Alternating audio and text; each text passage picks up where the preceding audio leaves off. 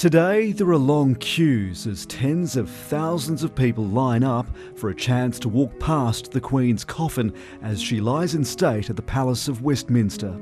With little opportunity to sit down in a moving queue, people have already been warned they'll need to be prepared to stand for several hours or even overnight, whatever the weather in London. Visitors will have to go through airport style security, once they're in Westminster Hall, the rules state they must behave respectfully, dress appropriately, and maintain silence.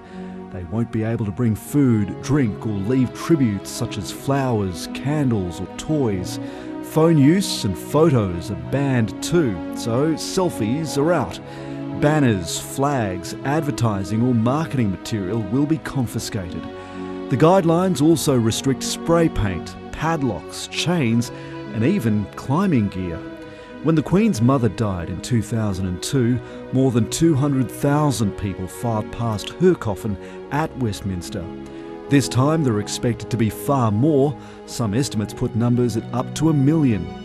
The public will be able to file past the Queen's coffin 24 hours a day until the morning of her state funeral on Monday.